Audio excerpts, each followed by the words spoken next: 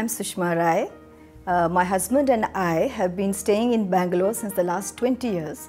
And as far as I remember, uh, we have been going only to Manipal Hospital.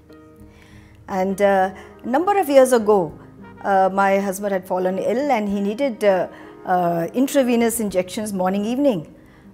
we were quite perturbed and wondering that in his ill health, how can I come to the hospital twice a day? And that's when we were introduced to home care. And uh, we were told that there will be no problem, you just have to uh, inform them and they will arrange everything very timely. Uh, the, uh, your, the technicians will be coming and doing the needful.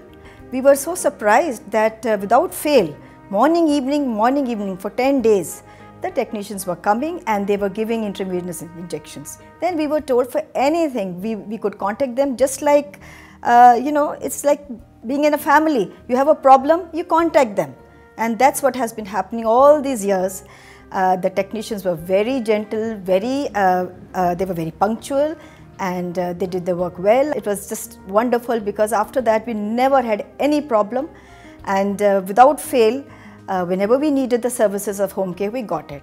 So I will just sum up in one, just one sentence on my husband and I both found that Manipal, the home care at Manipal was like a family when your family is away. So thanks a lot. I think it's a, a wonderful uh, organization and uh, I would recommend it to anybody.